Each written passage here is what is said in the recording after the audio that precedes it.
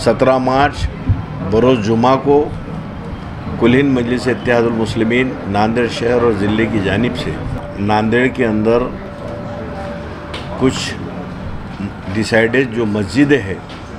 उनके सामने मजलिस इतिहादुलमसलिमिन की जानिब से ऑब्जेक्शन फॉर्म का कैंप रखा गया है। एक मुहिम को मजलिस इतिहादुलमसलिमिन चला रही है। ये मुहिम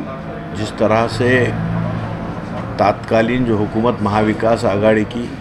जिन्होंने आनन फानन के अंदर जो एक फ़ैसला कर कर जिस तरह से शहर औरंगाबाद का और उस्मानाबाद का जो नाम को को तब, तब्दील करने का जो फ़ैसला लिया, वो वो और अभी जो फड़, बीजेपी और शिंदे जो सरकार है, इन्होंने उसको इन्होंने भी जो फ़ैसला किया है, उसके ख़िलाफ़ में वो नामों की तब्दीली ना हो। और जो नाम औरंगाबाद था, उसे औरंगाबाद भी रहने दिया जाए। और जो उस्मानाबाद था, उसे उस्मानाबाद ही रहा, रहने देना, रहा, रहने दीजिए। इसके लिए ये मुहिम का आगाज़ पिछले कई दिनों से मराठवाड़े के अंदर, हर ज़िलों के अंदर हर ज़िला, शहर, तालुका सतह के ऊपर हमने मजलिस के ज़िम्मेदारों को हिदायत भी की है और अलहमदिल्ला वहाँ पे भी काम चालू है। और कल जो है, शहर नांदेड़ के अंदर एक बड़े पैमाने के, पैमाने पर, पैमाने में पे हम एक ऑब्जेक्शन फॉर्म की जो है सो मुहिम चला रहे। मैं तमाम शहर नांदेड़ की अवाम से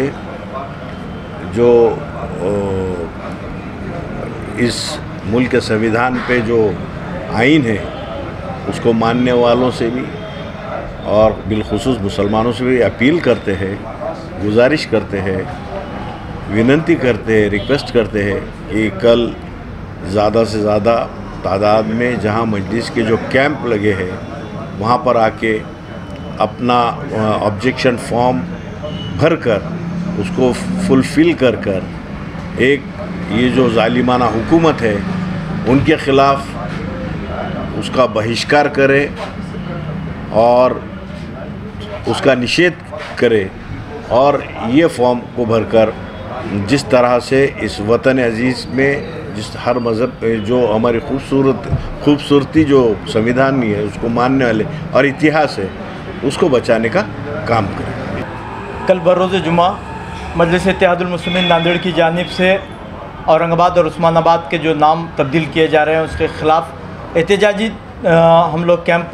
का इनका कर रहे हैं। मेरी आपके ज़रिए तमाम अवाबुलनास आम ख़ास से मेरी गुजारिश है कि आप लोग इस कैंप के ज़रिए अपना एतराज़ ज़रूर दर्ज कराएँ। इस कैंप में अप्लीकेशन फॉर्म और सारी चीज़ें वहाँ पर अवेलेबल रहेगी।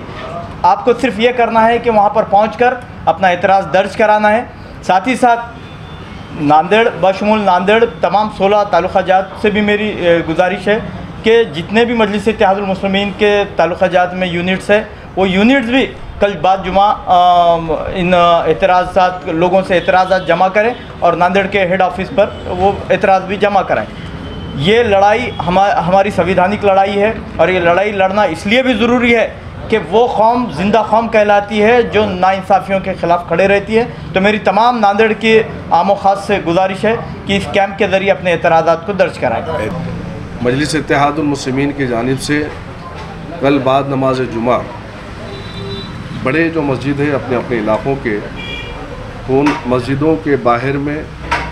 एक स्टॉल लगा हुआ होगा, जहाँ पर मजलिस इतिहादुलमसलिमिन के ज़िम्मेदारान, कारकुनान मौजूद रहेंगे। औरंगाबाद और उस्मानाबाद के नाम की तब्दीली को लेकर ऑब्जेक्शन फार्म वहाँ पर आपको मिलेगा। उस ऑब्जेक्शन फार्म को भरना है आपको, भर कर देना है ताकि जो आपका एतराज़ है, जो ऑब्जेक्शन है, वो रीजनल दफ्तर तक पहुँचे ताकि हुकूमत और हुकूमत के जो नुमाइंदे बैठे हुए हैं, वो आपके ऑब्जेक्शन को देखते हुए नामों की तब्दीली को रोक सके।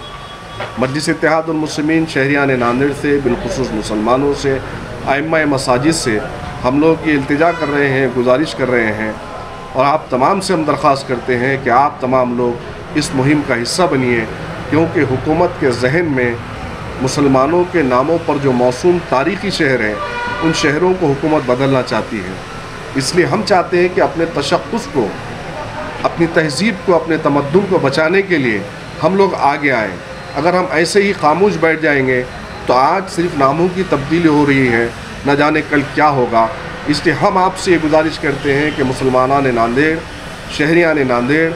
और आइम्मा मसाजिद, हमारे कराम, जितने भी दीनी मजहबी रहनुमा हैं, ज़िम्मेदारान हैं, वो लोग बढ़ चढ़ कर इस मुहिम का हिस्सा बने